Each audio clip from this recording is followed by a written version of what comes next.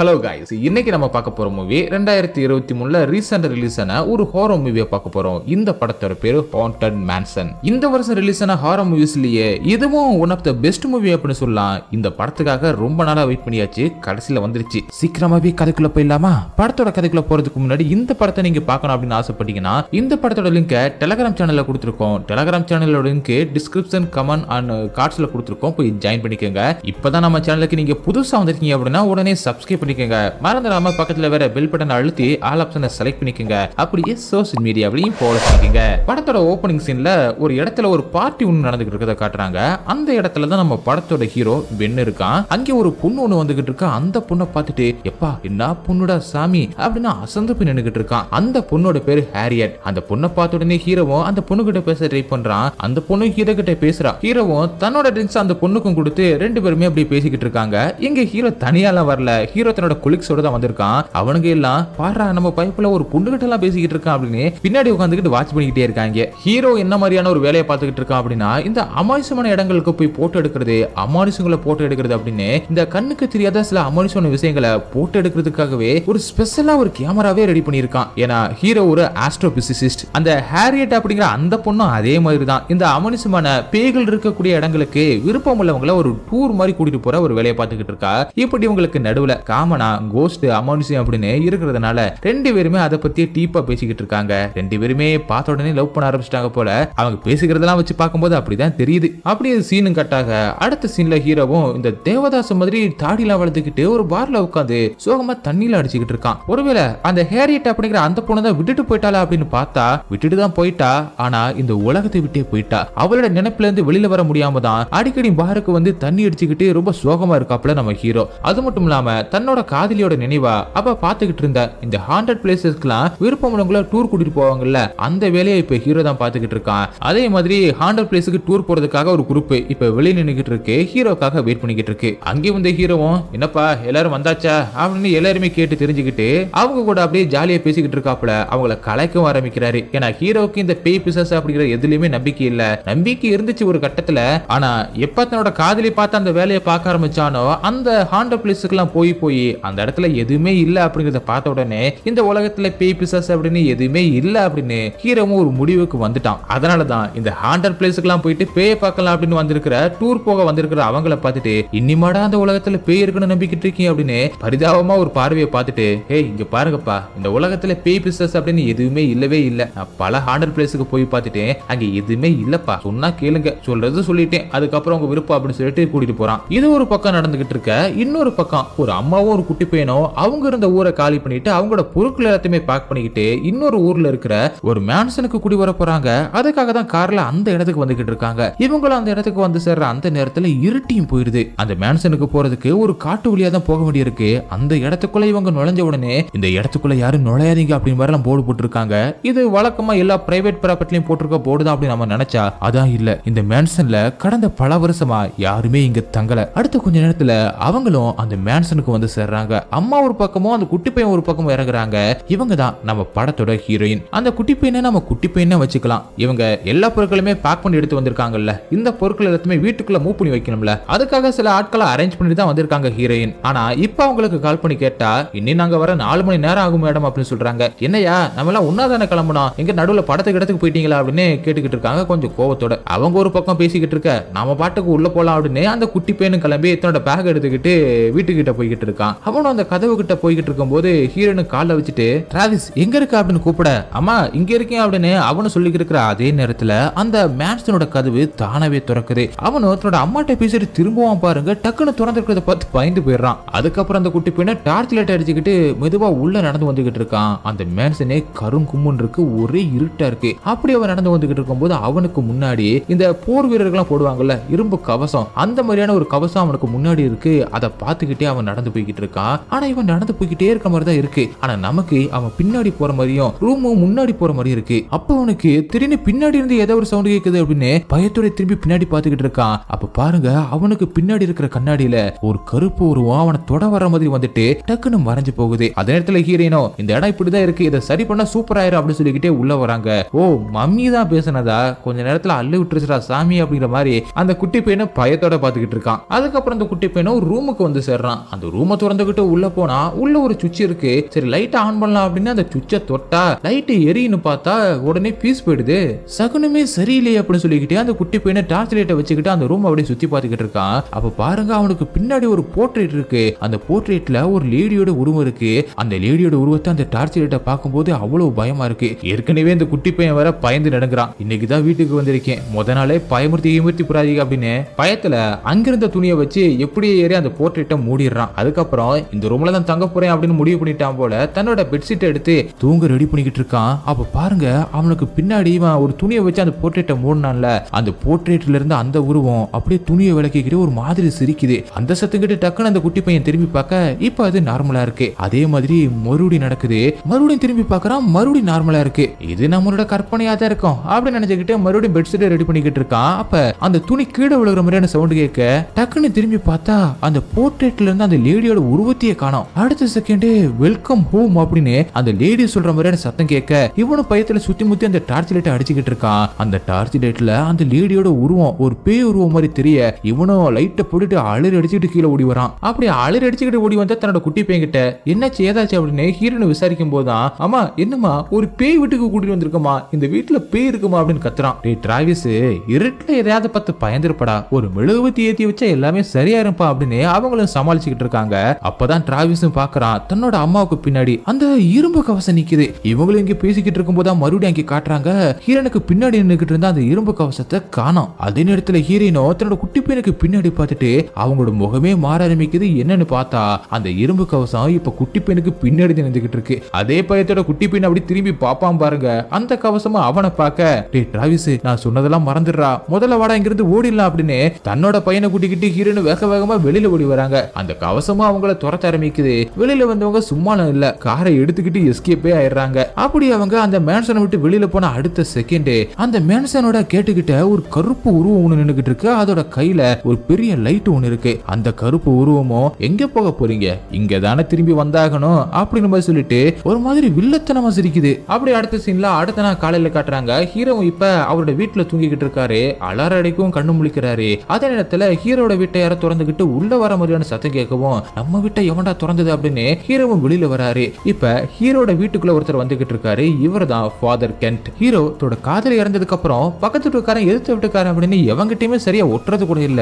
பக்கத்து வீட்டுக்காரன்லாம் ஹீரோவை கழுவி கழுவி ஊத்துறாங்க. அங்கே வந்த ஹீரோவும் உள்ள வந்த ஃபாதரோட மண்டையை உடைச்சலாம் அப்படின்னு பாட்டில் எடுத்துக்கிட்டு கிட்ட போக தம்பி தம்பி தம்பி நான் ஃபாதர் பா அடிச்சு மண்டையண்டே உடச்சு போறாத. ஒரே ஒரு விஷயங்காக தான் உங்ககிட்ட வந்தேன். நீ தானே பெண் மெத்தேவ்? அப்படின்னு அந்த ஃபாதரும் சொல்லிக்கிட்டு இருக்கும்போது தான் ஹீரோ கவனிக்கிறாரு. அந்த ஃபாதரோட கையில ஒரு பூனை இருக்கு. இந்த பூனை யாரோடதா அப்படின்னு ஹீரோவும் கேட்க இது உன்னோடது இல்லையா? உன் கதவுக்கு பக்கத்துலயே படுத்து இருந்துச்சு இந்த பூனை உன்னோடதா இருக்கும் அப்படின்னு எடுத்துட்டு உள்ள வந்தப்பா அப்படின்னு சொல்லிட்டு அந்த ஃபாதரும் அந்த பூனையை வெளியில விட்டுட்டு வந்துட்டு ஒரே ஒரு விஷயம் மட்டும் உன்ட்டு கேட்டுட்டு போயிடறப்பா நீ ஹீரோவாக ஆசைப்படுறியா? அப்படின்னு கேட்கிறாரு அதை கேட்ட உடனே ஹீரோவும் ஃபாதரை மேலும் கீழையும் பார்க்கறான் சரி சரி உனக்கு இந்த ஸ்பெக்ட்ரல் போட்டோகிராஃபி பத்தி நல்லா தெரியும் அப்படின்னு எனக்கு தெரியும். ஆனா நீ இப்போ ஒரு டூர் கைடா இருக்க. ஆனா அதுக்கு முன்னாடி நீ யாரா இருந்த அப்படின்னு எனக்கு நல்லாவே தெரியும். உன்னால இப்ப கோஸ்ட் பார்ட்டிக்கல போட்டோ எடுக்க முடியும்ல? அப்படின்னு அங்க இருக்கிற ஹீரோட கேமராலாம் எடுத்து பார்த்துக்கிட்டு இருக்காரு. உடனே ஹீரோவும் அந்த கேமராவை புடுங்கி வச்சிடறாரு. ஹீரோவோட திறமை என்ன அப்படிங்கிறது அந்த ஃபாதருக்கு நல்லாவே தெரியும் போல எங்கேயோ ஒரு இடத்துக்கு கூட்டிட்டு போறதுக்காக ஹீரோவை உசுப்பேத்தி ஒரு விஷயத்த சொல்ல பாக்குறாரு ஆனா ஹீரோவும் விடுற மாதிரி தெரியல. ஃபாதரை வெளியில அனுப்புறதுலே குறியா இருக்காரு. அப்போதான் அந்த ஃபாதரும் எப்பா எப்பா ஒரே ஒரு விஷயம்ப்பா. ஒரு லேடியும் அவங்களோட குட்டி பையனும் என்கிட்ட வந்தாங்க. அவங்க வீட்டுல பேய் இருக்குன்னு சொன்னாங்க. அதை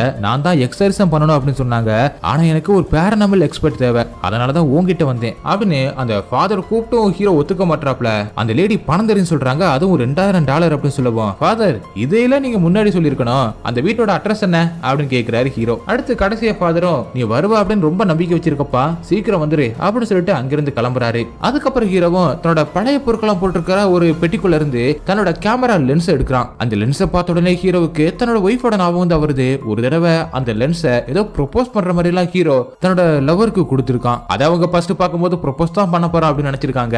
ஆனா அதுக்கப்புறம் ஹீரோ வேற விதமா ப்ரொபோஸ் பண்ணி அதுக்கப்புறம் ரெண்டு பேருமே கல்யாணம் பண்ணி வாழ்ந்திருக்காங்க.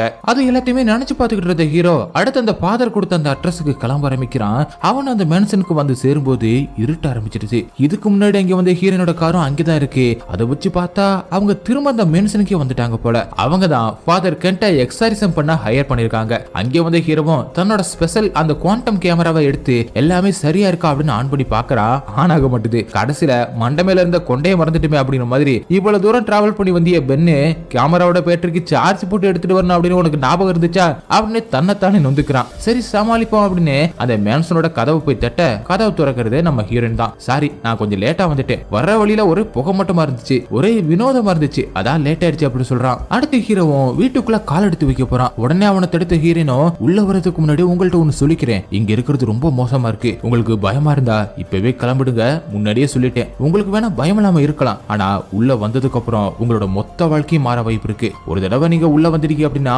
அவ்வளவுதான். வெளியில போறதுக்கு வாய்ப்பே இல்ல. அதனால உங்களுக்கு முன்னாடியே பணத்தை கொடுத்துறேன் அப்படின்னு பணத்தை கொடுக்குறாங்க. பேசுனதை விட அதிக பணம் அதுல இருக்கு. இவங்க ஏதோ சும்மா பயமுறுத்த தான் இப்படி சொல்றாங்க அப்படின்னு லேசில் நினைச்சுக்கிட்டு தான். ஹீரோவும் இந்த வீட்டை பத்தி சொல்லுங்க அப்படின்னு சொல்லிக்கிட்டே உள்ள வரான். அங்க நிறைய ஓவியங்கள்லாம் இருக்கு. இது எல்லாமே யாருன்னு இப்பதான் நான் விசாரிச்சுக்கிட்டு இருக்கேன் அப்படின்னு ஹீரோன்னு சொல்லும் போது தான் காட்டுறாங்க. அந்த குட்டி பையன் பயத்துல ஹால்லயே ஒரு சின்ன டென்ட்டை போட்டு அங்கே படுத்திருக்கா அப்படின்னும். அவன் மட்டும் இல்ல ஹீரோனும் ஹால்ல தான் தங்கியிருக்காங்க அப்படின்னு தெரிய வருது. இரவும் அந்த குட்டி பையன் கிட்ட பேசுறான். அவன் பயந்து இருக்கா அப்படின்னு தெரிஞ்சுக்கிட்டு அவனுக்கு தைரியத்தை கொடுக்குற மாதிரி பேசிக்கிட்டு இருக்க. யாரையா அந்த ஆளு? இங்க என்ன இருக்குன்னு தெரியாம ஏதோ ஹீரோ மாதிரி வந்துட்டான் அப்படின்னு நினைக்கிறான். ஹீரோயின் ஒரு டாக்டர் அவங்க நியூயார்க்ல தான் வாழ்ந்திருக்காங்க. ஹீரோனோட அம்மா இந்த ஊரை சேர்ந்தவங்க. அதனாலதான் இங்க வந்து குடி வந்துடலாம் அப்படின்னு பிளான் பண்ணி தான் இந்த பாலா போன பாலடைஞ்ச மனுஷனை வாங்கி இங்க குடி வந்திருக்காங்க. இதுக்கு முன்னாடி வாழ்ந்த அந்த இடத்துல குட்டி பையனுக்கு ஃப்ரெண்ட்ஸ் அப்படின்னு யாருமே இல்ல போல.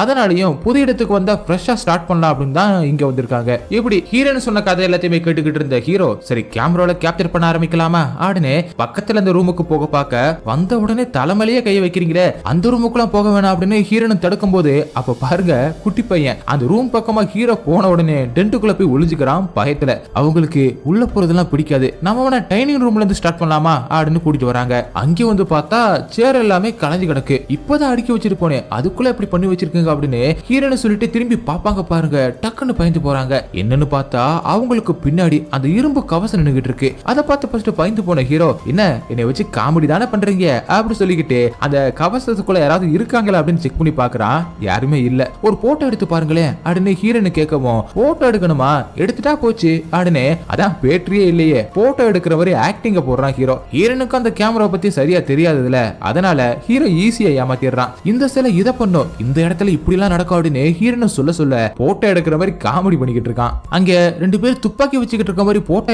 இருக்கு. நான் இந்த பக்கமா நடந்து வரும்போது ரெண்டு பேரும் மாத்தி மாத்தி சுட்டுக்கிட்டாங்க. நல்ல வேளை நான் தப்பிச்சிட்டேன் அப்படின்னு ஹீரோன் சொல்றது எல்லாத்தையுமே ஹீரோன் நம்பர் மாதிரியே தெரியல. ஏன்னா இவனுக்கு தான் அந்த மாதிரி ஒண்ணுமே நடக்கலையே. அப்புறமா ஒரு இடத்துல அந்த இடமே உடஞ்சு உள்ள போற மாதிரி இதுக்கு முன்னாடி அவங்க எக்ஸ்பீரியன்ஸ் பண்ணிருப்பாங்க போல அதுல மாட்டிக்காம கிராஸ் பண்ற மாதிரி பண்ணிக்கிட்டு இருக்காங்க. அதை பார்த்துட்டு ஹீரோவால சிரிக்காம இருக்கவே முடியல. ஏன்னா அங்க எதுவுமே இன்னும் நடக்கவே இல்ல. இங்க அப்படி ஒண்ணுமே இல்லையே அப்படின்னு ஹீரோவும் அந்த இடத்திலே போய் நின்னுக்கிட்டு சொல்லிக்கிட்டு இருக்கான். ஒருவேளை நடுராத்திரி ஆனதுக்கு அப்புறம் தான் நடக்குமோ அப்படின்னு ஹீரோன்னு சொல்லிக்கிட்டு இருக்காங்க. அப்ப ஹீரோவும் அப்படியே முன்னாடி போய் அங்க இருக்கிற ஓவியங்களை பார்த்துக்கிட்டு இருக்கும்போது அங்கே ஒரு மாலுமியோட ஒரு கேப்டனோட ஓவியம் ஒன்று இருக்கு. அவரோட கண்ணு நகர்ற மாதிரி ஹீரோக்கு தெரியுது. அது தன்னோட கற்பனையா தான் இருக்கும். அப்படின்னு நினைச்சுக்கிட்டு போயிடுறான். அடுத்து ஏதோ கால்குலேஷன் போடுற மாதிரி ஆக்ட் பண்ணிட்டு இங்க பேய் பிசாசு அப்படின்னு எதுவுமே இல்ல. இவ்வளவு பெரிய வீட்டுல இருக்கீங்கல்ல. அதனால உங்களுக்கு கற்பனையா தோணி இருக்கும் அப்படின்னு ஹீரோவை சொல்றான். ஹீரோனும் இவர் நம்மள நம்ப மாட்டாரு? அப்படிங்கறத சிரிக்கிறா. ஆனா பைபிள நம்ம ஹீரோ மேன்சனை விட்டு வெளியில வந்த உடனே விட்டா போதுடா சாமி அப்படிங்கிற மாதிரி வேக வேகமா திரும்பி திரும்பி பார்த்துக்கிட்டே போறா.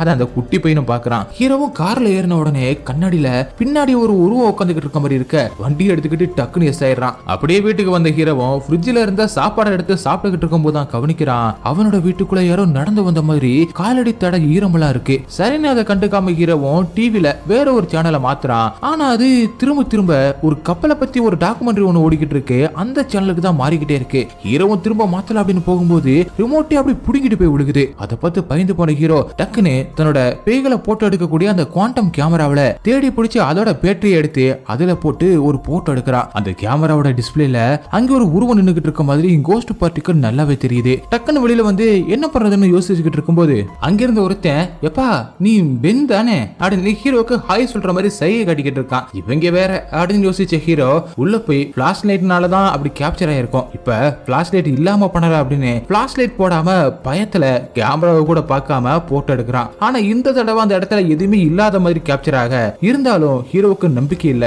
ஒருவேளை இருக்குமோ அப்படின்னு யோசிச்சுக்கிட்டே நைட்டு பைபிள தூங்க ஆரம்பிக்கிறான். பெட்ல படுத்த உடனே மேல இருந்து ஹீரோட நெத்தியில தண்ணி சுட்டுது. என்னடா அது அப்படின்னு ஹீரோவும் பாத்துக்கிட்டு இருக்கும் போதே கதவை டம்மு டம்முன்னு யாராவது துறக்க ட்ரை பண்ற மாதிரி சத்தம் கேக்குது. ஹீரோவும் வேகமா போய் கதவை துறப்பான் பாருங்க. வெளியில கடல் இருக்கு. இங்க என்னடா நடக்குது அப்படின்னு ஹீரோக்கு ஒண்ணுமே புரியல. கதவை எப்படியாவது அடைச்சலாம் அப்படின்னு ட்ரை பண்றான். ஆனா அதுக்குள்ள ஒரு ஆளை வந்து ஹீரோவை அலே நேக்கா தூக்கி போட்டுருது. அடுத்த செகண்டே ஒரு அம்பு மாதிரியான ஒன்று பறந்து வந்து குத்தும் பாருங்க. ஜஸ்ட் மிஸ் இல்லனா ஹீரோட மண்டை பூசணிக்க மாதிரி பொழந்திருக்கும் இல்ல இல்ல இதெல்லாம் நமக்கு வந்து கெட்ட கனவு தான் அப்படின்னு பதட்டத்தோடையும் பயத்தோடையும் ஹீரோ ஒரு ரெஸ்டாரண்ட்ல உட்காந்துக்கிட்டு தனக்கு தண்ணி ஆறுதல் சொல்லிக்கிட்டு காஃபி காப்பை எடுக்க போவான் பாருங்க. அதுவும் தானா கீழே விழுந்து உடஞ்சு போகுது. ஹீரோவும் ஏன் இப்படி எல்லாம் நடக்குது? அப்படின்னு முழிச்சு போயிருக்கான். ஹீரோ அந்த மேன்சன்ல பார்த்த அந்த ஓவியத்துல இருந்த அந்த மாலுமி அந்த கேப்டனோட ஆவி அவனுக்கு எதிர்த்தாப்புல உட்காந்துக்கிட்டு இருக்க மாதிரி இருக்கு. அந்த ஆவி ஹீரோவை ஃபாலோ பண்ணிக்கிட்டு ஹீரோட வீட்டுக்கே வந்துருச்சு போல. எல்லாமே சரியாயிண்டா பெண்ணு. கவலைப்படாதடா அப்படின்னு தனக்கு தானே பேசிக்கிட்டு ஹீரோவும் வீட்டுக்கு வந்து பார்த்தா வீடு ஃபுல்லாவே கடல் தண்ணியா இருக்கு. திரும்ப வந்துடு அப்படின்னு ஒரு ஆவி கத்திக்கிட்டே அந்த கடல் தண்ணியோட சேர்த்து ஹீரோவை தெருவுக்கே கொண்டு வந்துடுது. சோத்துலயும் அடி வாங்கியாச்சு சேத்துலயும் அடி வாங்கியாச்சு. அப்படின்ற மாதிரி ஹீரோவும் முழிச்சு போய் நிக்கிறான். அப்படி அந்த மேன்சனை காட்டுறாங்க ஹீரோனும் அந்த குட்டி பையனும். இங்க இருந்து போக வாய்ப்பில்ல ராஜா. திரும்ப வந்துருவான் பாரு அப்படின்னு வழிமேல் விழி வச்சு காத்திருக்காங்க. அவங்க எதிர்பார்த்த அதே டைமுக்கு ஹீரோவும் தன்னோட கேமரா கேமரா எல்லாத்தையுமே தூக்கிக்கிட்டு பதட்டமா அங்கே வரான். ஏங்க என்ன ஏதோ ஃபாலோ பண்ணிக்கிட்டு வீட்டுக்கே வந்துருச்சுங்க அப்படின்னு ஹீரோன் கிட்ட சொல்ல. முதல்ல உள்ள வாங்க பேசிக்கலாம் அப்படின்னு உள்ள கூட்டிட்டு வந்துட்டு உங்களுக்கு என்ன நடந்திருக்கும்? அப்படின்னு எங்களுக்கு நல்லாவே தெரியும். பதறாதீங்க எங்களுக்கு அதுதான் நடந்துச்சு. நாங்களும் வேற வழி இல்லாம தான் திரும்ப இங்க வந்தோம் அப்படின்னு சொல்றாங்க. என்னங்க இதை நீங்க முன்னாடி சொல்றது இல்லையா? அட்லீஸ்ட் நான் இங்க இருந்து பிச்சுக்கிட்டு கிளம்புனே அப்ப கூட வாயை துறக்கவே இல்லையேங்க நீங்க. அப்படின்னு ஹீரோவும் கேட்க நான் தான் உங்களை வீட்டுக்கு வரதுக்கு முன்னாடி எச்சரிச்சேன்ல. நீங்க தான் பேட்டரியே இல்லாத கேமரா வச்சு விளையாட்டு கட்டிக்கிட்டு இருந்தீங்க. அதான் அனுபவிச்சுட்டு வரட்டும் அப்படின்னு விட்டுட்டு அப்படின்னு சொன்னவங்க எனக்கு ஒரு பையன் இருக்கான். அவனை ஃபாலோ பண்ணிக்கிட்டே ஒரு பேய் வந்துச்சுன்னா அதை நான் எப்படி ஹேண்டில் பண்றது? அதனால தான் அவனை பாதுகாக்கிறதுக்காக இங்கே வந்து பிரச்சனையை சரி பண்ணலாம் அப்படின்னு தான் உங்களை வர வச்சிருக்கேன் அப்படின்னு கொஞ்சம் எமோஷனலாவே பேசுறாங்க. அதை கேட்ட ஹீரோ அதுக்கு இதுக்கு என்னைய வர வச்சிருக்கீங்க? அதுக்கு நீங்க அந்த ஃபாதரில் வர வச்சிருக்கணும் அப்படின்னு சொல்ல தம்பி தம்பி நானும் இங்க தாப்பா இருக்கேன். அப்படின்னு அந்த ஃபாதர் கண்டும் உள்ள இருந்து வராரு. யோ ஃபாதரு எல்லாமே உனக்கு முன்னாடி தெரிஞ்சிருக்கு. இருந்தும் என்னை இதுல கோத்து விட்டுட்டு இல்ல. நான் வர மட்டும் தானே சொல்லிக்கிட்டு இருந்தேன் அப்படின்னு ஹீரோவும் அவனோட வீட்டுல எடுத்த அந்த போட்டோவை அவங்களுக்கு காட்டுறான். இது அந்த மாலுமியோட ஆவிதான் அப்படின்னு ஹீரோவும் சொல்ல அந்த கேமராவை வச்சு இங்க இருக்கிற எல்லா இடத்துலயுமே போட்டோ எடுத்து இங்க இருக்கிற எல்லா பேய்களை பத்தியும் தெரிஞ்சுக்கிட்டு தப்பிக்க வழியை தேடணும் அப்படின்னு ஒரு பிளான போடுறாங்க. அது மட்டும் இல்லாம தங்களை ஃபாலோ பண்ணிக்கிட்டே வந்த அந்த பேய்கள் எல்லாம் தங்களை பயமுறுத்தி கொல்லணும் அப்படின்னு நினைக்கல. இங்க தங்களை திரும்ப வர வைக்கிறதுக்காக தான் பயமுறுத்தி இருக்குங்க அப்படிங்கறதையும் புரிஞ்சுக்கிறாங்க. இப்ப கரெக்டா நைட்டு பன்னெண்டு மணி ஆகுது. நடு ராத்திரியில தான் இந்த மேன்சன்ல பேய்கள் நடமாட்டம் அதிகமா இருக்கும் அப்படிங்கறதால நம்ம எல்லாருமே ஒரே இடத்துல இருக்கிறது தான் சேஃப்டி அப்படிங்கிற மாதிரி ஹீரோன்னு சொல்ல ஆனா ஹீரோவோ நீங்க வேணா எங்கேயே இருங்க. நான் முதல்ல இங்கிருந்து கிளம்பணும். அதுக்கான வழியை நான் கண்டுபிடிக்க போறேன் அப்படின்னு அவங்களோட ரூல்ஸை பிரேக் பண்ணாத. திரும்ப வந்துடு அப்படின்னு என்னதான் சொன்னாலும் கேட்காம போறான். இவங்க யாருக்குமே புத்தி இல்ல. ஆடுனே ஹீரோவும் சொல்லிக்கிட்டே நிற்கும் போது ஒரு ஹேண்டில் லைட் தானவே பறந்து வந்துகிட்டு இருக்கிறத பார்த்துட்டு ஹீரோவுக்கு அள்ளி இல்ல. அப்படியே ஹீரோ நடந்து வந்துகிட்டு இருக்கும்போது ஒரு சைக்கோ கலர் மாதிரியான ஒரு பேய் ஓவியம் ஒண்ணு இருக்கு. அதுல இருக்கிற அந்த பேய் கோடாரியோட வெளியில வருது. அப்ப ஹீரோவுக்கு கோடாரிய தீட்டிக்கிட்டே ஏதோ ஒண்ணு கிட்ட வர மாதிரியான சத்தம் கேட்கவும் பயத்துல டக்குன்னு அந்த கேமரா வச்சு போட்டோ எடுக்கிறான். உஜால அந்த சைக்கோ பேய் தான் வந்துகிட்டு இருக்கு. இவனும் பயந்து ஓட ஆரம்பிக்கிறான். இது சூப்பரா இருக்குல்ல? அவனுக்கு கெஸ்ட் அப்படின்னா ரொம்பவே பிடிக்கும். இனிமே தான் ஆட்டம் சூடு பிடிக்க போகுது அப்படின்னு அந்த சைக்கோ பேயும் அங்க இருக்கிற வேற ஏதோ ஒரு கொடூரமான கோஸ்ட பத்தி சொல்லிக்கிட்டே விரட்டிக்கிட்டே வந்துகிட்டு இருக்கு. ஹீரோவும் பயந்து ஓடி வர்றோம்னு கண்ணாடியில மோதிடுறான். அதே நேரத்துல அங்கே வந்த மத்தவங்க கிட்ட நமக்கு ஹெல்ப்புக்கு இன்னும் நிறைய ஆட்கள் தேவைப்படுது அப்படின்னு ஹீரோவும் சொல்றான். அடுத்து முதல்ல இந்த ஹாண்டன் மேன்சனை பத்தியும் இங்க என்ன நடந்துகிட்டு இருக்கா அப்படிங்கறத பத்தியும் தெரிஞ்சுக்கணும் அப்படின்னு இந்த மாதிரியான ஒரு ஹாண்டன் மேன்சனை பத்தி ஒரு புக்கு எழுதி இருக்கிற ஒரு ப்ரொஃபஸரை பார்க்க வந்திருக்காங்க. ஆனா அவர் எழுதின அந்த புக்கு ஒன்பது காப்பிக்கு மேல விக்கல. அது வேற விஷயம். இப்ப அவரை பார்க்க வந்திருக்காங்க. அங்கே வந்தவங்க அவர்கிட்ட அந்த மேன்சனை காட்டி இந்த மேன்சனை பத்தி உங்களுக்கு ஏதாவது தெரியுமா? அப்படின்னு கேக்குறாங்க. அதே மாதிரி இங்க இருக்கிற எல்லா பைகளையுமே போட்டோ எடுத்து இவங்களை இப்ப எது மிரட்டிக்கிட்டு இருக்கா? அப்படிங்கிறதையும் தெரிஞ்சுக்க பிளான் பண்ணிருக்காங்க அப்படி தெரிஞ்சுக்கிட்டதுக்கு அப்புறம் அந்த பேய்கள் கூட பேசக்கூடிய ஒரு மீடியம் கண்டுபிடிக்கணும் அப்படின்னு ஒரு சைக்கிக் லேடிய தேடி கண்டுபிடிச்சு அவங்கள பார்க்க வந்திருக்காங்க. ஆனா அந்த லேடி கிட்ட ஃபர்ஸ்ட் இவங்க பேச ஆரம்பிக்கும் போதே இவ போலீஸ் சைக்கிக்கா இருப்போல அப்படின்னு இவங்களுக்கு சந்தேகம் வந்துருச்சு. அப்புறம் கடைசியில தான் சும்மா அவங்க கிட்ட விளாண்டேன் அப்படின்னு சொல்லிட்டு ஓரளவுக்கு இவங்க எதுக்காக வந்திருக்காங்க அப்படிங்கறத கெஸ் பண்ணி சொல்றாங்க. அதுக்கப்புறம் தான் இவங்களுக்கு நம்பிக்கை வருது. அடுத்த ஒரு பக்கம் ஹீரோவும் மேன்சனோட எல்லா இடத்தையுமே கண்காணிக்கிறதுக்காக கேமரா எல்லாத்தையுமே செட் பண்றான். இன்னொரு பக்கம் குட்டி பையன் இங்கேயும் வந்து பிரின்ஸ் பிடிப்பா அப்படின்னு பார்த்தா போய் சண்டை தான் இழுத்துட்டு வரான். அந்த ப்ரொஃபஸரும் அந்த ஹாண்டட் மேன்சனை பத்தி ரிசர்ச் பண்ணிட்டு இவங்க கிட்ட அங்க ஒரு கொடூரமான சம்பவம் நடந்திருக்கு. அப்படி இப்படின்னு சில விஷயங்களை இவங்க கிட்ட சொல்றாரு. அந்த மனுஷனும் கொஞ்சம் ஃபன்னான மனுஷன் தான் போல. ஹீரோ செட் பண்ணிருக்கிற அந்த கேமரா மூலமா அந்த பேய்களை கண்காணிச்சு அந்த பேய்களோட ஹிஸ்டரியை தெரிஞ்சுக்கலாம் அப்படின்னு பார்த்தா அதுங்க ஒரு இடத்துல கூட நிக்க மாட்டுதுங்க. மூவ் ஆகிக்கிட்டே இருக்க. அதை பார்த்த குட்டி பையனும் இதை பார்த்தா அதுங்க எதுக்கோ பயந்து ஓடுற மாதிரி இருக்கே அப்படின்னு சொல்றான். அப்பதான் ஃபாதரும் அந்த சைக்கிக் லேடியை மேன்சனுக்கு கூட்டிட்டு வந்திருக்காரு. ஆனா அந்த சைக்கிக் லேடிக்கு உள்ள வந்ததுக்கு அப்புறம் திரும்ப வெளியில போக முடியாது அப்படிங்கிற விஷயம் தெரியாது போல. அதனால ரொம்ப பந்தாவா தன்னோட திறமையை காட்ட ட்ரை பண்ணிக்கிட்டு இருக்காங்க. அந்த ப்ரொஃபஸரும் ஆயிரத்தி எழுநூத்தி எண்பத்தெட்டாவது வருஷம் அந்த மேன்சன் கட்டி முடிக்கப்பட்ட நிலையில கண்டுபிடிக்கப்படுது அப்படின்னும் வில்லி வில்லியம் கிரேசி அப்படிங்கிற நபர் தான் முத முறையா அதை வாங்கியிருக்காரு. அவரோட ஒய்ஃப் எலனோர் மஞ்சள் ஃபீவரால இறந்துட்டாங்க.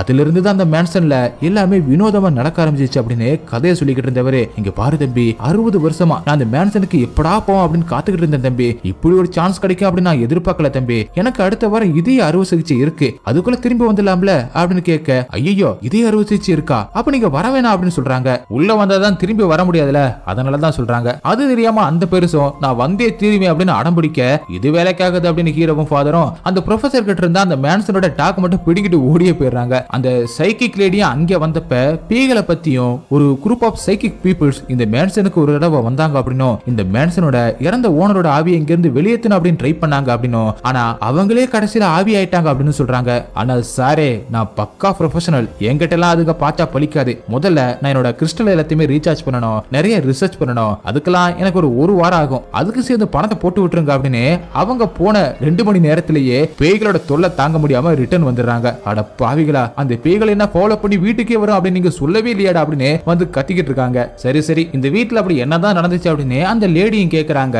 இவங்க அந்த பெருசை ஏமாத்திட்டு அந்த டாக்குமெண்ட் பிடிங்கிட்டு வந்தாங்கல்ல அது வீணா போகல. அந்த டாக்குமெண்ட்ல எல்லா டீடைல்ஸுமே இருக்கு. அந்த மேன்சனை வாங்கின ஓனர் தன்னோட ஒய்ஃப் இறந்ததுக்கு அப்புறம் பைத்தியமாகி தன்னோட வாழ்க்கையை முடிச்சுக்கிட்டாரு அப்படின்னும். அதுக்கு முன்னாடி தன்னோட காசு எல்லாத்தையுமே செலவழிச்சு சில சைக்கிக் மீடியமா வர வர வச்சு எதையோ ட்ரை பண்ணிருக்காரு அப்படின்னும் அதுக்கப்புறம் அந்த வீட்டுல தங்கின அறுபத்தாறு பேரும் வித்தியாசமான முறையில இறந்து போயிருக்காங்க அப்படின்னும் அதுல ரெண்டு அண்ணன் தம்பிங்க மாத்தி மாத்தி சுட்டுக்கிட்டு செத்து போயிருக்காங்க.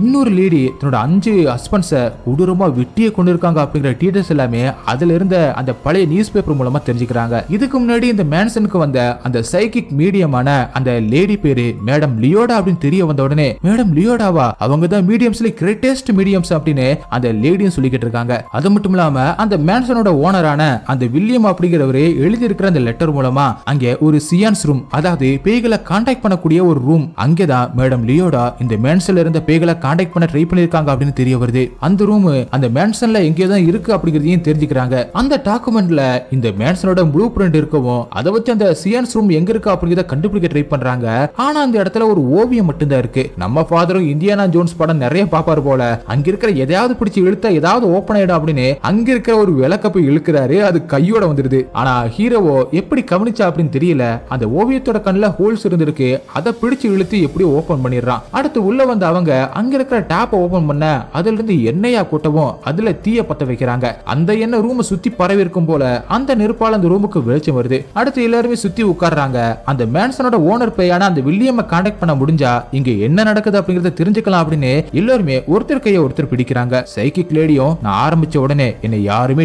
டிஸ்டர்ப் பண்ணக்கூடாது. இல்லைனா முதல்ல இருந்து மறுபடியும் ஸ்டார்ட் பண்றாப்ல இருக்கும் அப்படின்னு சொல்லிட்டு ஆரம்பிக்கிறாங்க. ஆனா திடீர்னு அவங்க கொரட்டு வர்ற சவுண்ட் கேக்குது. இவங்க என்ன தூங்கிட்டாங்க?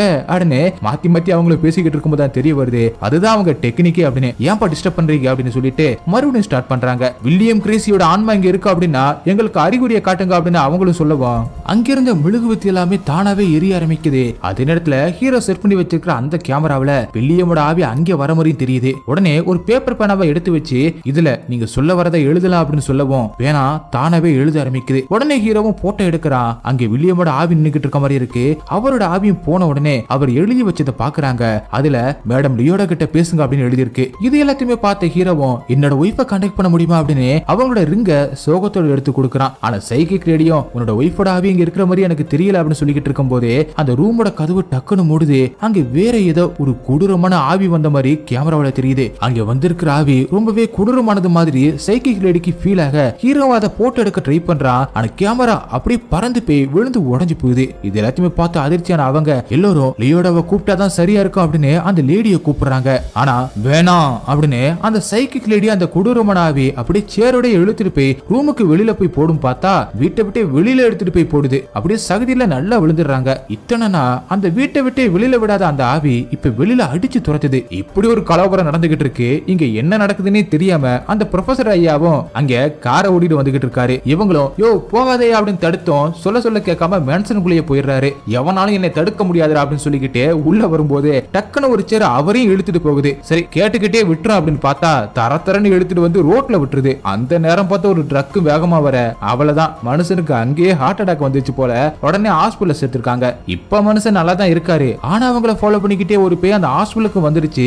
அந்த ப்ரொஃபசர் அப்படி நினைச்சு இன்னொரு பேஷண்ட போட்டு பொழந்து கட்டிக்கிட்டு இருக்கு. ஐயோ வந்துட்டாங்க. ஓடிட்டாங்களே அப்படின்னு ஐயாவை தூக்கிக்கிட்டு அங்கிருந்து கிளம்பிடுறாங்க. அந்த ஆவி லியோடோவை பத்தி பேசவும் தான் நம்மள வெளியில துரத்துது அப்படிங்கறத புரிஞ்சுக்கிறாங்க. அப்புறமா ஹீரோ கிட்ட அந்த சைக்கிக் லேடியும் உன்னோட ஒய்ஃபை கான்டாக்ட் பண்ண முடியாததுக்கு சாரி அப்படின்னு சொல்லிட்டு உன்னோட ஒய்ஃபோட ஆன்மா இந்த ரெண்டு சர்க்கிளுக்கும் அந்த பக்கமா தான் இருப்பாங்க. இந்த ரெண்டு சர்க்கிள் இணையிற இந்த இடத்துல இருக்கிற ஆவிகளை தான் நம்மளால கான்டாக்ட் பண்ண முடியும். ரெண்டு சர்க்கிளுக்கும் நடுவுல இருக்கிற இந்த ஆவிகள் தான் மனுஷங்களை பொசஸும் பண்ணும். இந்த மாதிரியான இடங்களையும் ஆக்கிரமிக்கும் அப்படின்னு சொல்றாங்க. இந்த நடுவுல இருக்கிற இந்த இடத்தை தாண்டி போன எல்லா ஆன்மாவும் சாந்தி அடைஞ்சிருச்சு அப்படின்னு தான் அர்த்தம் அப்படின்னு சொல்றாங்க. அது மட்டும் இல்லாம அப்படி சாந்தி அடைஞ்சவங்களோட ஆன்மா அந்த உலகத்துல இருந்து நமக்கு சைன் காட்டும். என்னோட அப்பாவுக்கு மாடல் ட்ரெயின்ஸ் அப்படின்னா ரொம்பவே பிடிக்கும். அவர் இறந்ததுக்கு அப்புறம் நான் எப்பெல்லாம் சோகமா இருக்கணும் அப்பெல்லாம் தூரத்துல ட்ரெயின் போற மாதிரியான சவுண்ட் எனக்கு தெளிவா கேட்கும். அதை கேட்கும் போது என்னோட அப்பாவே எனக்கு ஹாய் சொல்ற மாதிரி இருக்கும் அப்படின்னு ரொம்பவே எமோஷனலா பேசி ஹீரோவை சமாதானப்படுத்துறாங்க. அப்படியே நடு ராத்திரியில காட்டுறாங்க. அப்ப அந்த மேன்சனுக்கு வெளியில ஒரு குட்டை மாதிரி ஒண்ணு இருக்கு. அதுக்குள்ள ஏதோ முதல்ல எல்லாம் இருக்கிற மாதிரி இருக்கு. அதோட கொடூரமான உருவல் சத்தம்லாம் அந்த மேன்சன் ஃபுல்லாவே கேட்கிற மாதிரி காட்டுறாங்க. ஆனா அப்புறம் தான் தெரிய வருது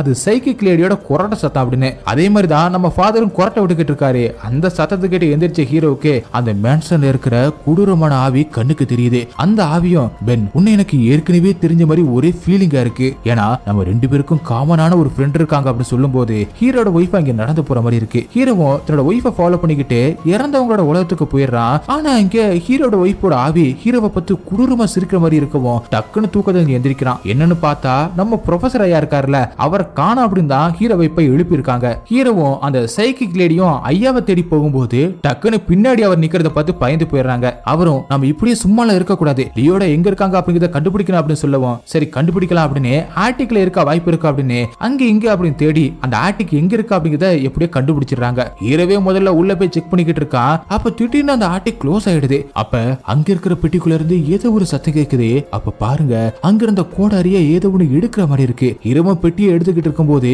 ஹீரோவுக்கு தலையே இல்லாத மாதிரி கண்ணாடியில தெரிய கிட்ட போய் பாத்துக்கிட்டு இருக்கும்போது அஞ்சு ஹஸ்பண்ட வெட்டியே கொண்டால ஒரு லேடி அவங்களோட ஆவி ஹீரோவை கொள்றதுக்காக கொடூரமா துரத்த ஆரம்பிக்குது. எப்படியே ஹீரோவும் பெட்டியோட கீழே விழுந்துடுறான். அதுக்கப்புறம் அந்த பெட்டியை ஓபன் பண்ணி பார்த்தா அதுக்குள்ள மேடம் லியோட விட மந்திர புக்கம் அதுவும் பழைய புக்கா இருக்கு. அதை பார்த்த ஆச்சரியத்துல சைக்கிக் லேடியும் அதை ஓபன் பண்ணி பார்த்துக்கிட்டு இருக்காங்க.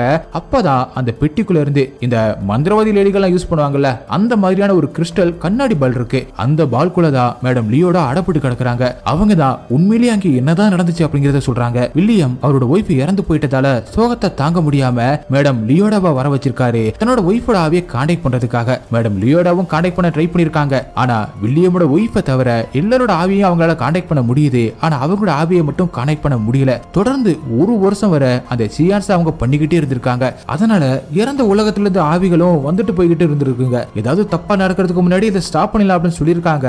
ஆனா வில்லியம் கேட்கவே இல்லை. ஆனா ஒரு நாள் வில்லியமோட ஒய்ஃப் கிட்ட இருந்து வில்லியமுக்கு ஒரு மெசேஜ் வந்திருக்கு. அதுல உனக்காக நான் இறந்த உலகத்துல காத்துக்கிட்டு இருக்கேன் அப்படின்னு வந்திருக்கு. ஆனா லியோடாவுக்கு நல்லாவே தெரிஞ்சிருக்கு. அது வில்லியமோட ஒய்ஃபே இல்ல அப்படின்னு. அவங்க சியான்ஸ தொடர்ந்து பண்ணவும் தெரியாம ஒரு கொடூரமான ஆவியை வர வச்சிட்டாங்க. அதுதான் வில்லியம் அவனோட ஒய்ஃப் மாதிரி ஏமாத்தி அவனோட வாழ்க்கையை முடிச்சுக்க வச்சிருக்கு. அந்த கொடூரமான ஆவிக்கு இந்த வீட்லயே மத்த ஆவிகளை சிறப்பிடிச்சு வச்சுக்க கூடிய பவர் இருந்திருக்கு. அதை சரியா கண்டுபிடிக்கிறதுக்குள்ள மேடம் லியோடாவை அந்த கிறிஸ்டல் பாலுக்குள்ளேயே அடைச்சு வச்சிருக்கு அந்த கொடூரமான ஆவி. மொத்தம் ஆயிரம் ஆன்மாக்களை அந்த வீட்டுக்குள்ள அடைச்சிட்டா அந்த கொடூரமான ஆவி அவன் நினைச்சுக்கிட்டு இருக்கிற அந்த சடங்கு முடிச்சு இந்த வீட்டுக்குள்ள இருந்து தப்பிச்சு போயிடும். பௌர்ணமி அன்னைக்கு அவனோட பவர் அதிகமா இருக்கும். அவன் கிட்ட இருந்து பாத்துருங்க. அதுவும் நீ உன்னோட ஒய்ஃபோட நினப்பாவே இருக்க. அவன் ஈஸியா உன்னை கண்ட்ரோல் பண்றதுக்கு வாய்ப்பு இருக்கு அப்படின்னு ஹீரோவை பார்த்து சொல்றாங்க. அது மட்டும் இல்லாம அந்த கொடூரமான ஆவியை எக்ஸாரிசம் பண்ணி அழிக்கணும் அப்படின்னா அந்த ஆவிக்கு சம்பந்தப்பட்ட ஒரு பொருள் வேணும் அப்படின்னு சொல்லிக்கிட்டு இருக்கும்போதே அந்த கொடூரமான ஆவி அவங்கள பயமுறுத்த ஆரம்பிக்குது. இப்ப அந்த ஆவி தொள்ளாயிரத்தி தொண்ணூத்தி ஒன்பது ஆன்மாக்களை அடைச்சிருக்கு. இன்னும் ஒரே ஒரு ஆன்மா மட்டும்தான் தேவை.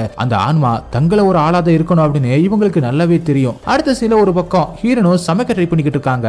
கண்ணுக்கு தெரியாத ஆவிகளும் ஹீரனை சமைக்க விடாம டிஸ்டர்ப் பண்ணிக்கிட்டே இருக்குதுங்க. மத்தவங்களோ ஆஸ்ட்ரல் ப்ரொஜெக்ஷன் மூலமா நம்ம ஆவி இறந்த உலகத்துக்கு போயிட்டு அந்த வில்லியம் கிட்ட அந்த கொடூரமான ஆவி யாருன்னு தெரிஞ்சுக்கலாம் அப்படின்னு ஒரு பிளான பண்றாங்க. அத மந்திர தந்திரங்கள் தெரிஞ்ச என்னால மட்டும் தான் பண்ண முடியும் அப்படின்னு அந்த லேடியும் சொல்றாங்க. அதுக்கப்புறம் இப்ப ஹீரோனோ தன்னோட பையனை பத்தி கவலைப்பட்டுக்கிட்டு இருக்காங்க. நான் போய் அவன் கிட்ட பேசி பாக்குறேன் அப்படின்னு சொல்லிட்டு போய் குட்டி பையன் கிட்ட பேசுறாரு ஹீரோ. குட்டி பையன் அவனோட அப்பாவை ரொம்பவே மிஸ் பண்றான் அப்படிங்கிறது ஹீரோவுக்கு புரியுது. அதுவும் அவர் அடிக்கடி தன்னை பார்க்கவா தன்னை பார்க்கவா அப்படின்னு கூப்பிடுறாரு அப்படின்னு சொல்றான். அதை கேட்டுக்கிட்டு இருந்த ஹீரோவும் அவனோட மனநிலையை மாத்துறதுக்காக அவனுக்கு டாய்ஸ் எல்லாத்தையுமே கொடுத்து அவனோட விளையாண்டு அவனை குசிப்படுத்துறான். அப்படியே அன்னைக்கு நைட்டு நடுராத்திரியில காட்டுறாங்க. அவங்க பிளான் பண்ணபடி அந்த குடூர தீய பத்தி தெரிஞ்சுக்க மறுபடியும் அந்த சான்ஸ பண்றாங்க. இப்ப அந்த சைக்கிக் லேடியும் ஒரு மணியை பக்கத்துல வச்சு ஏதாவது பிரச்சனை ஆகிற மாதிரி தெரிஞ்சா அதை அடிச்சு என்னைய சுயனனுக்கு கொண்டு வர சொல்றாங்க. ஆனா அங்க நடக்கிறதே வேற. அவங்களுக்கு பதில் பதிலா இப்ப ஹீரோட ஆன்மா வெளியில போகுது. அவன் அவனோட ஒய்ஃபோட ஞாபகமா இருக்கிறதாலேயே ஈஸியா அவன் இறந்த உலகத்தால கூட ஈர்க்கப்படலாம். அதனால கூட இப்படி நடந்திருக்கலாம். ஹீரோவோட ஆன்மா வெளியில வர அதே நேரத்துல அந்த ரூமை திறந்துகிட்டு வில்லியமோ தன்னோட ஒய்ஃபோட ஆவியை தேடிக்கிட்டு உள்ள வராரு. ஹீரோவை பார்த்துட்டு நீ இங்கெல்லாம் வரக்கூடாது அப்படின்னு சொல்லிக்கிட்டு அவர் அங்கிருந்து தப்பிச்சு வர்றாரு ஹீரோவும் உங்களோட ஹெல்ப் எனக்கு தேவை அப்படின்னு அவரை துரத்திக்கிட்டே வர்றான் அப்படி போகும்போது பல பேய்களை அவன் சந்திக்கிறான். அவங்க எல்லாருமே அவன் கண்ணில் படுறதுக்குள்ள இங்கிருந்து போயிடு அப்படின்னு தான் சொல்றாங்க. கடைசியில ஹீரோவும் வில்லியம் கண்டுபிடிச்சிடுறான். அவர்கிட்ட அந்த கொடூர தீ ஆவி யாருன்னு கேக்குறான். அவனோட உண்மையான பேர் எங்களுக்கு சரியா தெரியாது. ஆனா அவன் எங்களை மாதிரிலாம் இல்ல. அவனுக்கு கனவுலையும் நினைச்சு பார்க்க முடியாத அளவுக்கு பவர் இருக்கு. அவன் அந்த கடைசி அனுமாவை எடுக்க விடக்கூடாது. இல்லன்னா நாங்க எல்லாருமே இங்கேயே நிரந்தரமா மாட்டிக்குமா அப்படின்னு சொல்லிக்கிட்டு இருக்கும்போதே அவன் வந்துட்டான் நீ இங்கிருந்து போயிடு அப்படின்னு சொல்லிட்டு மறைஞ்சு போயிடுறாரு. டைமும் கரெக்டா பன்னெண்டு மணியாக எல்லா பேய்களும் பயந்து அவன் கண்ணில் பற்றக்கூடாதுன்னு ஓடி ஒளியறத பாக்குறான் ஹீரோ. அங்கிருந்து ஒரு மெழுகுவத்தி எடுத்துக்கிட்டு அந்த ஆவியை பார்த்துக்கிட்டு இருக்கான். அந்த மெழுகுவத்திக்குள்ளேயும் ஒரு பேய் ஒளிஞ்சிருக்கும் போல அந்த பேய் மெழுகுவத்தியை தானாவே அணைச்சிக்குது. ஆனா அந்த தீயாவி ஹீரோவை பார்த்துடுச்சு. ஓ பேன் என்ன தேடிதான் இங்க வந்தியா அப்படின்னு ஹீரோ கிட்ட வந்துகிட்டு இருக்கும் போதே ஹீரோ ஒரு ரூமுக்குள்ள வந்துடுறான். அங்கிருந்த இரும்பு கவசம் ஹீரோவை ஒளிஞ்சுக்க சொல்லுது. ஹீரோவும் ஒளிஞ்சுக்க உள்ள வந்த அந்த ஆவியும் நேரா போய் இரும்பு கவசத்தோட கழுத்தை பிடிக்குது. அந்த கேப்பல ஹீரோவும் தப்பிச்சலாம் அப்படின்னு பார்த்தா அந்த ஆவியோட தலையே அவ வச்சிருந்த அந்த லேம்ப் லைட்டுக்குள்ள தான் இருக்கு. நீ எனக்கு ஹெல்ப் பண்ணா உனக்கு தேவையானதை நான் உனக்கு கொடுப்பேன் அப்படின்னு அந்த ஆவியும் சொல்ல போயா நீயும் உன்னோட டீலிங் அப்படின்னு ஹீரோவும் அங்கிருந்து ஓட ஆரம்பிக்கிறான். இதுக்கு நடுவுல ஹீரோட உடம்புக்குள்ள அந்த சைக்கோப்பி பூந்துடுது அதே நேரத்துல மத்தவங்களுக்கும் ஹீரோ தான் அந்த ஆஸ்ட்ரல் ப்ரொஜெக்ஷன் பண்ணிருக்கான் அப்படின்னு தெரியுது. அங்கே ஹீரோவை அந்த கொடூரமான ஆவியும் பேசி மைண்ட மாத்த பாக்குது. அவனோட ஆவியை எடுத்துக்க பாக்குது. இங்க இவங்களை ஹீரோவை காப்பாத்த உடனே பெல் அடிக்க ஆரம்பிக்கிறாங்க. அந்த பெல் சவுண்டு ஹீரோவை வேகமா அவனோட உடம்புக்குள்ள இழுக்க அந்த சைக்கோப்பி வெளியில போறதுக்கும் ஹீரோட ஆன்மா உள்ள வரதுக்கும் அந்த கொடூர தீ ஆவி கிட்ட இருந்து ஹீரோ தப்பிக்கிறதுக்கும் கரெக்டா இருக்கு. அடுத்து ஹீரோவும் அங்க நடந்த எல்லாத்த பத்தியும் அந்த தீ ஆவியை பத்தியும் சொல்றான். அவனும் அவன் என்னத்தான் அவனோட கடைசி ஆன்மாவை எடுத்துக்க நினைக்கிறான் அப்படின்னும் அந்த சோகத்திலேயே ஆக்ஷன்ல இறந்து போன தன்னோட ஒய்ஃப் நினைச்சு ஃபீல் பண்ணி பேசுறான். அவங்க லைஃப்ல நடந்த பல நல்ல தருணங்களை சொல்லிக்கிட்டு இருக்கும்போது அன்னைக்கு நான் மட்டும் அவளை அனுப்பாம நானே கடைக்கு போயிருந்தா இப்ப அவ உயிரோட இருந்திருப்பா. வேலை ப்ரெஷர்ல அவளை போக சொல்லிட்டு அப்படின்னு ரொம்பவே எமோஷனலா ஃபீல் பண்ணி அளவே ஆரம்பிச்சிடுறான். ஹீரோவோட ஒய்ஃப் இறந்து போனதால தான் ஹீரோ அந்த கேமராவை விரித்தனமா ரெடி பண்ணியிருக்கான் அது மூலமாவது கடைசியா அவளை ஒரு தடவை பாத்துட முடியாதா அப்படிங்கிறதுக்காக ஹீரோ அந்த குடூர ஆவியோட தலை எரிஞ்சுக்கிட்டு இருந்த லேம்ப் லைட்டுக்குள்ள இருக்கிறதா சொல்லியிருப்பான்ல அதனால அவனோட உருவத்தை ஹீரோ சொல்ல சொல்ல வரைகிற மாதிரியான ஒரு ஆர்டிஸ்ட போலீஸ் டிபார்ட்மெண்ட்டுக்கு போயிட்டு பிடிக்கிறாங்க. அவரும் ஹீரோ சொல்ல சொல்ல வரைய ஆரம்பிக்கிறாரு. அது அச்சு அசலா அந்த கொடூர ஆவியோட எலும்பு கூடு மூஞ்சி மாதிரி இருக்கு. அந்த டிராயிங்க அப்படியே ஸ்கின்னோட வரைய வச்சு அவனோட உண்மையான உருவத்தையும் கண்டுபிடிச்சிடுறாங்க. போலீஸ் டிபார்ட்மெண்ட்ல இருந்த ரெக்கார்ட்ஸ் எல்லாத்தையுமே வச்சு அவன் பேர் ஆலஸ்டர் கிரம்ப் அப்படின்னும் அவனோட அப்பா ஒரு பெரிய பணக்காரர் அப்படின்னும் ஆலஸ்டர் என்னோட அம்மாவோட ஃபியூனரல் அப்ப அதிகமா அழுதுகிட்டே இருக்கவும் அவனோட அப்பா அவனை சின்ன பையன் அப்படின்னு கூட பார்க்காம வெளியில துரத்தி விட்டுருக்காரு. ஏன்னா அப்பதான் அவன் ஸ்ட்ராங்கா இந்த உலகத்தை புரிஞ்சுக்கிட்டு வளர்வான் அப்படிங்கிறதுக்காக அப்படி பண்ணிருக்காரு அவனோட அப்பாவோட பணம் சொந்தக்காரங்க ஃப்ரெண்ட்ஸ் அப்படின்னு எதுவுமே அவனுக்கு உதவியே இல்ல. ஆனா பல வருஷம் கழிச்சு அவனோட அப்பாவோட மர்மமான சாவுக்கு அப்புறம் திரும்பி வந்தவன் ஒரு பணக்காரனா தான் வந்தான். வந்த உடனே அவன் ஒரு பார்ட்டி நடத்தினா அதுல அவனுக்கு தெரிஞ்சவங்க சொந்தக்காரங்க அப்படின்னு எல்லாருமே வர வச்சான். அதுல அவனுக்கு துரோகம் பண்ண பல பேரு அன்னைக்கு அங்கிருந்து வெளியிலேயே போகல. கிரம் தன்னோட டார்க் மேஜிக்கை வச்சுதான் பணக்காரனானா அப்படின்னும் அதை தொடர்ந்து பண்றதுக்காக ரத்த பலி தேவைப்பட்டதாகவும் அதுக்காக தான் அப்படி பண்ணதாகவும் ஒரு பேச்சு உலாவுச்சு. இறந்தவங்களோட பாடி கூட கிடைக்கல. அது மட்டும் இல்லாம அவனுக்கு கீழே வேலை பார்த்தவங்கள கொடூரமா குடுமையும் படுத்தியிருக்கான். அதனால ஒரு நாள் எல்லா வேலைக்காரங்களும் ஒன்னா சேர்ந்து அவனோட தலையை வெட்டி அவனை கொடூரமா கொண்டு அப்படி கொல்ல போறதுக்கு முன்னாடி எல்லாருமே பழி வாங்குவேன் அப்படின்னு சபதம் எடுத்துக்கிட்டு தான் இறந்து போயிருக்கான். ஆலஸ்டர் கிரம்ப் உயிரோட இருக்கும் போதும் கொலகாரனா தான் இருந்தான். இறந்ததுக்கு அப்புறமும் கொலகாரனா தான் சுத்துறான் அப்படின்னு அந்த ப்ரொஃபசர் ஐயாவும் எல்லாத்தையுமே சொல்றாரு. அப்ப அவனோட வீட்டுக்கு போனா அவன் சம்பந்தப்பட்ட பொருட்கள்லாம் கிடைக்கும் அப்படின்னு அவனோட அட்ரஸ் இருக்கிறதுனால அப்படியே பண்ணலாம் அப்படின்னு பிளான் பண்றாங்க. ஆனா அதுக்குள்ள அங்க என்னமோ நடக்க ஆரம்பிக்குது. ஹீரோ வெளியில போறதுக்குள்ள அவனை தடுக்க பாக்குது அந்த தீய ஆவி. எப்படி அட்ரஸ வாங்கிடுறான்? குட்டி பையனை ஹீரோக்கு பக்கத்துல இருக்கான் அப்படிங்கிறதால ஹீரோக்கு செட் பண்ண அந்த டிராப்ல அவனும் மாட்டிக்கிறான். அதுக்குள்ள இருந்து ரெண்டு முதலைங்க வர ஹீரோவும் குட்டி பையனை எப்படியும் மேல ஏறி தப்பிக்கிறாங்க. முதலையும் மேல எல்லாம் ஏறி வந்துகிட்டு இருக்கு. வெளியில இருந்து மந்திரத்தை போட்டு கதவை ஓபன் பண்றேன் அப்படிங்கிற பேர்ல அந்த லேடியும் காமெடி பண்ணிக்கிட்டு இருக்காங்க. அதே நேரத்துல ஐயாவுக்கு ஹார்ட் அட்டாக்கும் வந்துடுது. எப்படியோ ஹீரோ அந்த குட்டி பையனை அங்கிருந்து தப்பிச்சு வெளியில வந்துடுறாங்க. உள்ள இருக்கிற ஐயாவுக்கு திடீர்னு அந்த கொடூரமான ஆவியெல்லாம் கண்ணுக்கு தெரியுது. இன்னொரு பக்கம் ஃபாதரும் வெளியில தான் இருந்திருக்காரு போல. அவரை அவசர அவசரமா கூட்டிக்கிட்டு அவங்கள பிடிக்கிறதுக்காக மரத்தோட வேர்கள்லாம் வந்துகிட்டு இருக்கு. அதுகிட்ட மாட்டிக்காம தப்பிக்க பாக்குறாங்க. எப்படியோ ஒரு வழியா அவங்களும் எல்லாத்தையுமே சமாளிச்சு தப்பிக்க அவங்க பேக் செட்லயும் சில பேய்கள் உட்கார்ந்துகிட்டு இருக்க மாதிரி இருக்கு. இங்க ஹார்ட் அட்டாக்ல துடிச்சுக்கிட்டு இருக்கிற அந்த ஐயாவை அந்த கொடூரமான ஆவியும் பயமுறுத்துது. அடுத்து அந்த ஆலஸ்டர் கிரம்போட மன்னருக்கு வந்த இவங்களும் அங்க சில பேரை நூறு கேடு சுத்தி காட்டிக்கிட்டு இருக்காங்க. அவங்க சொல்ற அந்த கதை எல்லாத்தையுமே கேட்டு பார்த்தோம். ஒரு குழுவுமே இவங்களுக்கு கிடைக்கல. அப்பதான். இவங்க கூட சில ஆவிகள் வந்துச்சுல அதுல மாலுமி அந்த கேப்டன் ஆவியும் ஒண்ணு. கேப்டனோட ஆவி கிட்ட ஹீரோவும் பேச்சுவார்த்தை நடத்தி அந்த கேப்டனுக்கு கடலுக்கு போகணும் அப்படிங்கிற ஒரு ஆசை இருக்கு அப்படிங்கறத தெரிஞ்சுக்கிட்டு அதை நிறைவேற்றி வைக்கிறதா வாக்கு கொடுத்துட்டு தங்களுக்கு ஹெல்ப் பண்ண சொல்லி கேட்கிறாரு கேப்டனோட ஆவியும் அவனோட கடைசி ஆன்மாவை அவங்களா விருப்பப்பட்டு கொடுத்தாதான் அவனால எடுத்துக்கவே முடியும். அப்படி அவனுக்கு மட்டும் அந்த ஆன்மா கிடைச்சிருச்சு சோழி முடிஞ்சிருச்சு அப்படின்னு சொல்லி அவங்கள ஒரு பேஸ்மெண்ட்டுக்கு கூட்டிட்டு போகுது. அந்த பேஸ்மெண்ட்டுக்குள்ள குட்டி பையனால மட்டும்தான் போக முடியும் அப்படிங்கிறதால அவனை இறக்கி விடுறாங்க.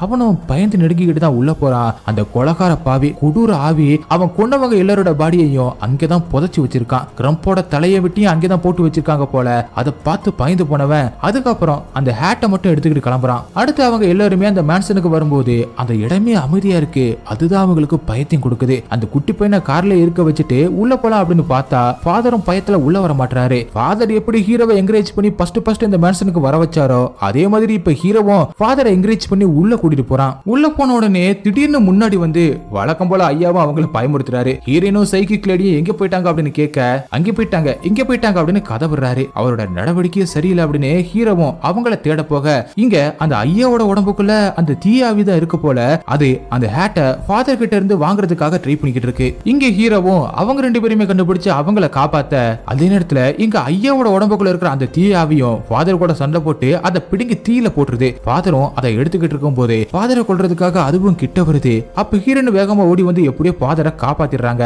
அதே நேரத்துல கரெக்டா பன்னெண்டு மணி ஆகுது. பௌர்ணமி இரவும் ஸ்டார்ட் ஆகுது. உடனே அந்த வீட்டுக்குள்ள ஏதோ நடக்க ஆரம்பிக்குது. குட்டி பையனோட நோட் புக்லயும் பேனாவும் தானா எழுத ஆரம்பிக்க. இங்க ஐயாவோட உடம்புக்குள்ள இருக்கிற அந்த தீய ஆவிக்கு ஃபுல் பவர் வந்துடுச்சு. இவங்களும் அதை எக்ஸரிசம் பண்ணி அடக்க பாக்குறாங்க. ஆனா அந்த ஹேட்டை பிடிக்கி மறுபடியும் தீயில போட்டுட்டு ஐயாவோட உடம்ப அப்படி தூக்கி போட்டுட்டு வில்லத்தனமா சிரிக்குது அந்த கொடூர ஆவி. அந்த ஹேட்டை எடுக்க விடாம அந்த கோடாரி கொலகரி இருக்கால அவளை அவளையும் காவலுக்கு போடுது. அந்த தீய ஆவியம் என்னோட கடைசி ஆன்மா நீதான் அப்படின்னு ஹீரோவை பார்த்து சொல்லிக்கிட்டு இருக்க. அப்பதான் ஹீரோனு குட்டி பையனை தேட ஆரம்பிக்கிறாங்க. அவ வெளியில பத்திரமா இருக்கான். அவன் அவங்க அப்பா கிட்ட பேசிக்கிட்டு இருக்கா அப்படின்னு ஹீரோவும் சொல்றான். அப்பதான் ஹீரோக்கு விஷயமே தெரிய வருது. குட்டி பையனோட அப்பா ஏற்கனவே இறந்து போயிட்டாரு அப்படின்னு. இவங்க வந்ததுல இருந்தே என்னோட அப்பா என்கிட்ட பேசுறாரு. அவரு என்னை அவரை பார்க்க வர சொல்றாரு அப்படின்னு ஹீரோ கிட்ட சொல்லியிருப்பான்ல. அதை வச்சு இப்போதான் அந்த குடூர ஆவியோட பிளானி நமக்கு தெரிய வருது. அந்த குடூரமான ஆவியும் அவங்க கிட்ட சர்ப்ரைஸ் அப்படின்னு சொல்லும்போது அது நமக்கே சர்ப்ரைஸா இருக்கு. அதாவது குட்டி பையனை தான் அவனோட அப்பா மாதிரி பேசி ஏமாத்தி கூட்டிட்டு போகுது. அந்த தீ ஆவி தன்னோட டார்கெட் ஹீரோ மாதிரி காட்டி ஏமாத்திட்டு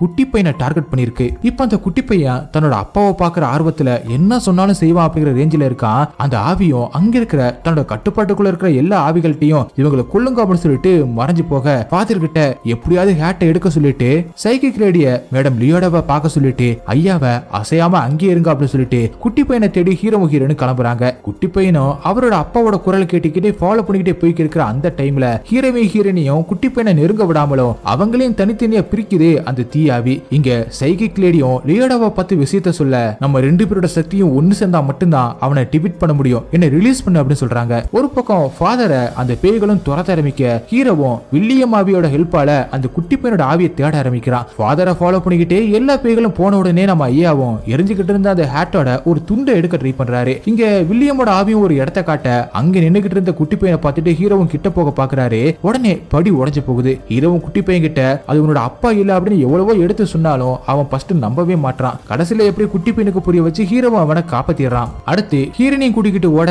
அவங்க இப்ப இறந்தவங்களோட உலகத்துல இருக்காங்க. அவங்களுக்காக அந்த தீய ஆவியும் தன்னோட ஆர்மியோட அங்கேதான் காத்துக்கிட்டு இருக்கு. அதுவும் ஹீரோனையும் குட்டி பையனையும் பணைய கைதிகளை வச்சு மிரட்டி ஹீரோவை தன்னோட வில்லிங் அனுமாவா இருக்க சம்மதிக்க வச்சுக்கிட்டு இருக்கும்போது இங்க பேய்கள்கிட்ட மாட்டிக்கிட்ட ஃபாதரும் அவரோட பேச்சு திறமையை வச்சு அந்த பேய்கள் எல்லாமே அந்த தீய ஆவிக்கு அடிமையா இருக்கிறதையும் அந்த அடிமைத்தனத்தை உடைச்சு எதிர்த்து போராட வேண்டிய நேரம் வந்துருச்சு அப்படின்னு அவங்களுக்கு புரிய வச்சிடறாரு. இங்க ஹீரோவா அந்த ஆவியும் மைண்ட் வாஷ் பண்ணிக்கிட்டு இருக்கா அதே நேரத்துல ஹீரினும் அவனோட பேச்சை கேட்காது அப்படின்னு கத்திக்கிட்டு இருக்காங்க. ஹீரோவும் நான் இதுக்கு சம்மதிக்கிறேன் அப்படின்னு சொல்லிடுறான். அடுத்த செகண்டே அந்த சைக்கிக் லேடியும் லியோடவும் அங்க வந்துடுறாங்க. என்னையாவடா இதுக்குள்ள அடைச்சு வைக்கிற? இன்னைக்கு இருக்கடா உனக்கு அப்படின்னு சொல்ல பேய் படையோட அங்கே வந்த ஃபாதரும் அவர் கூட வந்த அந்த பேய்களும் தீய ஆவியோட படைகளை துவம்சம் பண்றாங்க. கடைசியில ஒரு வழியா ஹேட்டோட ஒரு துண்டு எடுத்துக்கிட்டு ஐயாவும் வராரு. அவரையும் தடுக்குது அந்த தீய ஆவி உடனே குட்டி பையனை எல்லாத்தையுமே சமாளிச்சு அதை எடுத்துட்டு வந்து கொடுக்கறான். இப்ப ஹீரோவும் தன்னோட மனசை மாத்திட்டான். அதே நேரத்துல அந்த செயற்கை கிளடியும் துண்டு துணியை வச்சு மந்திரத்தை சொல்ல சொல்ல தீய ஆவி பூமிக்குள்ள இழுக்கப்படுது. இவங்களும் விடாம வேகமா சொல்றாங்க அந்த ஆவியும் நான் திரும்ப வருவேன். உன்னையும் உன்னோட ஃப்ரெண்ட்ஸையும் சும்மா விட மாட்டேன் அப்படின்னு சொல்லி அப்படியே பூமிக்குள்ள புதஞ்சு போயிடுது. ஒரு வழியா அவங்க எல்லாத்தையுமே சரி பண்ணிட்டாங்க. அதனால எல்லாருமே சந்தோஷமா இருக்காங்க. ஆனா அந்த பேய்கள் எல்லாம் இப்ப விடுதலை ஆயிடுச்சுங்க. ஆனா இருந்தாலும் அதுங்களுக்கு ஹீரோவுக்கு அங்கிருந்து போக விருப்பமே இல்ல. அதனால அதுங்க அங்கே இருக்கிறதுக்கு ஹீரோயினும் குட்டி பையனும் சம்மதிக்கிறாங்க. லியோடாவும் அவங்களோட கிறிஸ்டல் பால்குள்ளே போக முடிவு பண்ணிடுறாங்க. அந்த கேப்டனுக்கு கொடுத்த வாக்குக்காக அவரோட ஆவிய கடலுக்கு கூட்டிட்டு வர அவரோட ஆவி பாட்டுக்கு ஒருத்தனோட போட்டை எடுத்துக்கிட்டு கிளம்பிடுது. அப்படியே அடுத்த நாள் ஹீரோவும் தன்னோட ஒய்ஃபோட திங்ஸ இல்லாதவங்களுக்கு கொடுக்க சொல்லி ஃபாதர் கிட்ட கொடுத்து அனுப்பிட்டு தன்னோட வீட்டு வாசல படுத்திருக்கிற அந்த பூனையை தூக்கி பாக்குறாரு. அதோட காலர்ல ஹீரோட ஒய்ஃபுக்கு பிடிச்ச வார்த்தை ஒண்ணு இருக்கு. அது தன்னோட ஒய்ஃப் கொடுக்குற சைன் அப்படின்னு எடுத்துக்கிறான் ஹீரோ அடுத்து கொஞ்ச நாள் கழிச்சு ஹாலோவினுக்கு ஹீரோவும் அந்த மேன்சனுக்கு வர அங்கேதான் எல்லோருமே இருக்காங்க. ஹீரோனுக்கும் ஹீரோக்கும் நடுவுல ரொமான்ஸும் அப்படி ஸ்டார்ட் ஆகுற மாதிரி இருக்கு. அந்த ஹாலோவினை அவங்களும் அந்த ஹாண்டன் மேன்சனே கொண்டாடுறாங்க. அப்படியே இந்த படத்தையும் முடிக்கிறாங்க. ஓகே கைஸ் இந்த படம் உங்களுக்கு எந்த அளவுக்கு பிடிச்சிருந்துச்சு அப்படிங்கறத கமெண்ட்ல சொல்லுங்க. உங்களுக்கு இந்த வீடியோ பிடிச்சிருந்துச்சுன்னா உடனே ஒரு லைக்கை தட்டி விட்டுட்டு மறந்துடாம உங்க ஃப்ரெண்ட்ஸுக்கு ஷேர் பண்ணுங்க. அப்படி நம்ம சேனலை சப்ஸ்கிரைப் பண்ண மறந்துடாதீங்க. நெக்ஸ்ட் வீடியோல மீட் பண்ணலாம். Bye guys